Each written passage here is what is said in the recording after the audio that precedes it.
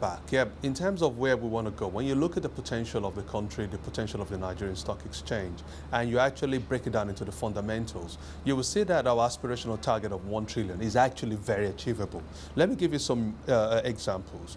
Today, there, there, are, there, are, there are hardly any upstream uh, oil and gas eh, company listed in the Nigerian Stock Exchange.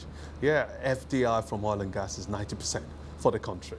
Uh, power companies, yeah, None listed in the Nigerian stock market. And we know the demand for power in the country, which will continue yeah, over a period of time. Agriculture forms 40% of our GDP. Yeah, again, there's really no commercialized agricultural industry uh, listed in the market. So when you look at the market and you look at the composition of the market and the potential of the market, then it's very clear to see yeah, that the NSE has some way to go.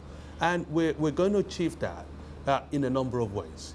There's a bit of work we are doing within the NSE. So telecoms, again, is another good example, which is, you know, no telecoms companies listed. And we're, we're, we're meeting with the right people, with the right company, with, with those companies, and actually advocating for them to list. We're, we're actually changing our listing rules.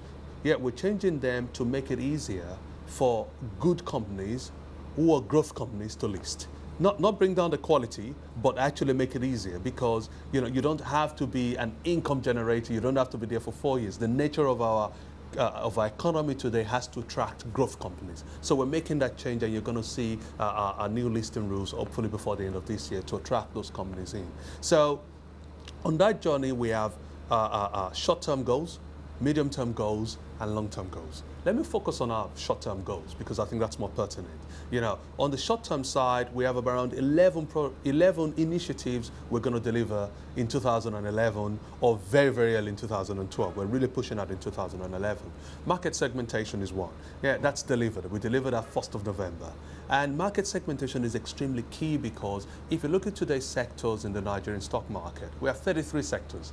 Yeah, very difficult for anybody to actually analyze and uh, uh, make sense of. And it's not in line with, uh, uh if you like, the global standards in terms of uh, our segmentation. So by actually channeling these and following it to 12, I think we actually provide ourselves with a basis for, if you like, people within the market, outside the market, in the country, outside the country, to actually analyze the market better.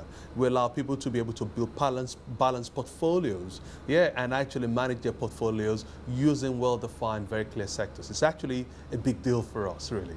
So you look at the other initiatives we're driving, exchange-traded funds. Uh, we plan to launch a first exchange-traded fund uh, uh, in Nigeria in November you know, tail end of November. Work is well underway. It's going to be one back with commodities, uh, gold specifically, and it's with a leading uh, uh, uh, uh banking organization uh, in Africa and in the globe as well. So, you know, those are, those are good initiatives which will allow us to deepen the product set within the Nigerian market. Today, it's just purely equities, you know it's got to be deepened and broadened uh, effectively.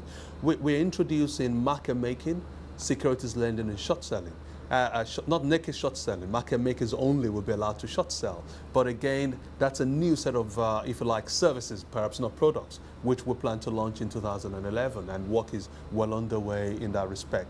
I spoke about uh, revising the listing rules. Yeah, we're, we're building a new website. We've got to do that because that is the basis of the technology. Yeah, uh, uh, and market data is a very key part of what we're doing today.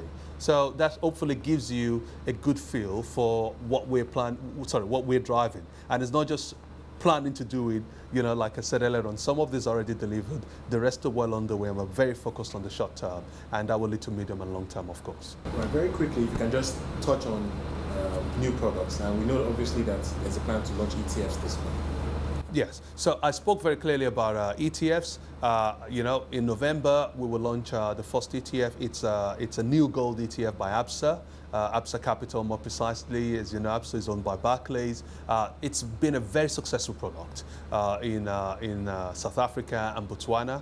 We believe it brings a lot of diversification to the Nigerian market as well, especially for the institutional investors, even private investors as well. So that's a positive thing. we launched a first closed-end fund Uh, about two months ago uh, in the Nigerian market. And we see the new ETF product uh, as, if you like, a launching pad for more ETF products to be actually brought into the market over the, the coming months.